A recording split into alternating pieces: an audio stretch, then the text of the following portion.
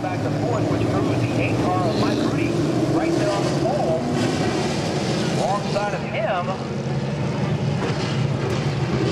be the 19 of Kyle Wood, the 36 car Chris Johnson rode to with Thomas Stinson in the fourth car running in fourth. Again, Thomas took off a good lap earlier this evening, but he will start on the fourth position as the 50 lap modified Maven is on.